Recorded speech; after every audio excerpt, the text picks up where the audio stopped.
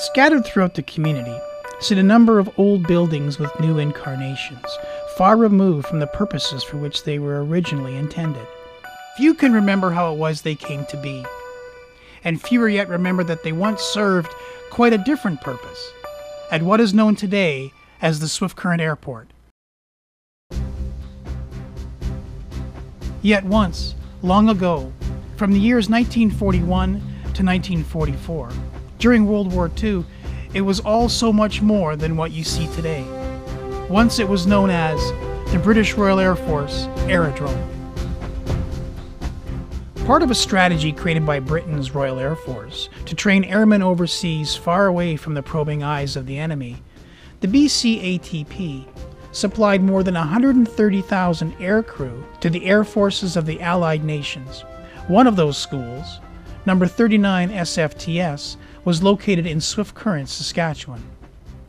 Opened in December of 1941, the number 39 Service Flying Training School, or 39 SFTS as it was known, provided advanced training for pilots, including fighter and bomber training and navigation. 39 SFTS here in Swift Current saw upwards of 1,900 men pass through its program, looking to earn their wings.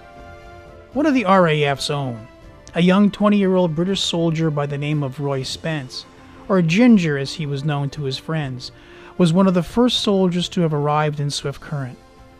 Having volunteered for a posting overseas, he thought he was headed to join the war effort in the Middle East. We got on the boat at Liverpool and we took, we were in a big um, convoy and it took 13 days to get to Halifax. So we're wondering, how, what are we going to do? Why are we going to Halifax? There's no war in this country. With their location held secret, so as not to inform the enemy of their intentions, the group of nearly 400 soldiers traveled across Canada for five days by train before reaching their final destination. And then in November 1941, we stopped at this little place. Looked a desolate place, really. And it was in November, really cold, and that was Swift Current, Saskatchewan. Despite the cold, conditions at the camp far exceeded the soldiers' expectations. We were living in camps that were built in the First World War in England. Here it was a brand new camp built for us. Eh, and it was, you know, central heated, warm water. We had to shave with cold water in England. This was a real soft camp to be at. Initially, number 39 SFTS was intended to train young airmen from around the Commonwealth to become fighter pilots using the single engine Harvard aircraft. The school later traded planes with an SFTS in Calgary for twin engine Oxfords and began training bomber pilots and navigators instead.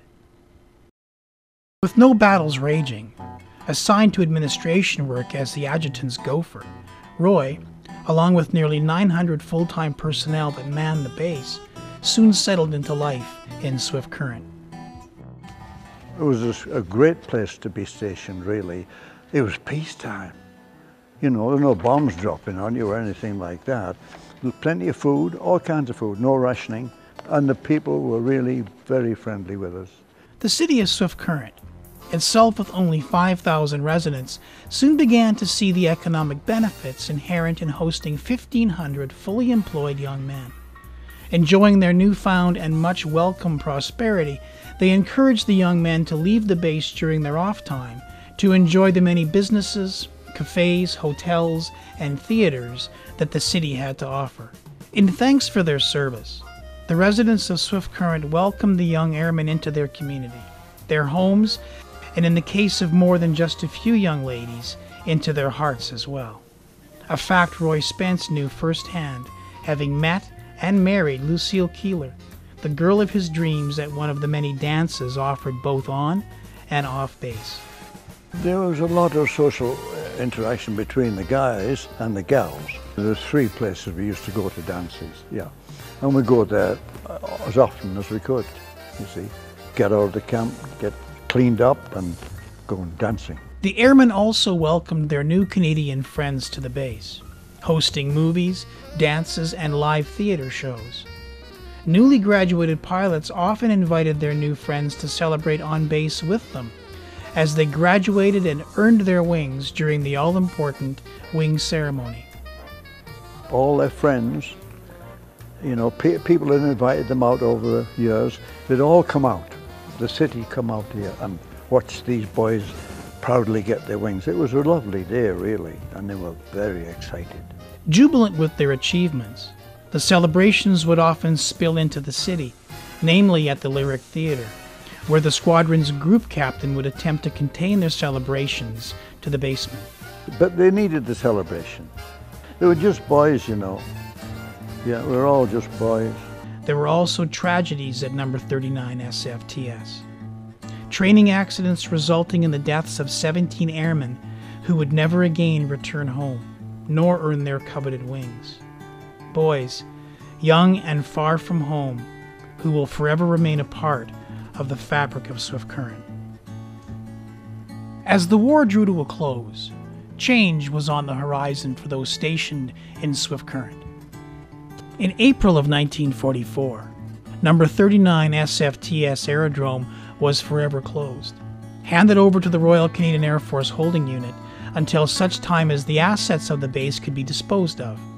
Planes were sold and buildings were either broken down for their parts or moved into the city where they could once again be put to good use. Out of my kitchen window, across the creek, there's one of our Air Force buildings there, and it's the community hall. But people don't know about that, you see. They know it's the community hall, but they figured men with nails and hammers and built it there, but it came from here to there. It was a good deal. They're buying it from the government, the government wanted to get rid of it, and it's been a real good thing for the community. After the base closed, the men were reposted for the remainder of the war. When peacetime resumed, the majority of British men who married Swift Current girls during their time here took their new wives back to England. A few RAF men, like Roy Spence and his bride Lucille, returned to Swift Current a few years later to enjoy post war opportunities raise their families, and help keep their memory of the aerodrome alive. Memories which they believe are important enough to share. I'm not sure how important it is to me. I feel it's important to them that they should know. It's a part of their history. That's how I feel about that.